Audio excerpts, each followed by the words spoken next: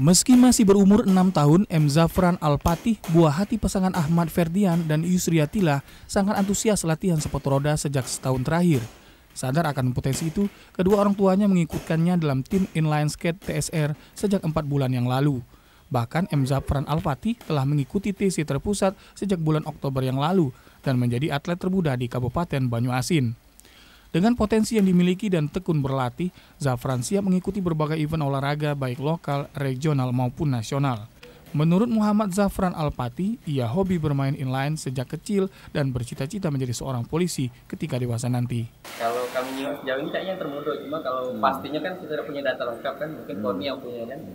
Tapi kalau nyok-nyok dari romo-romonya termudah, 6 tahun 6 bulan umurnya. Di antara tim sepatu roda Banyuasin ini ya? Iya, Soalnya jalan-jalannya. Enak ya, cane sepeda ya. lah latihan lah berapa lama dek?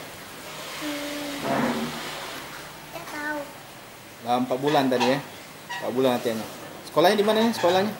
Al Azhar. Diharapkan Zapran dapat meraih prestasi yang baik di kejuaraan, termasuk di Porprov Okuraya 2021. Ahmad Maris, TVRI Sumatera Selatan, melaporkan.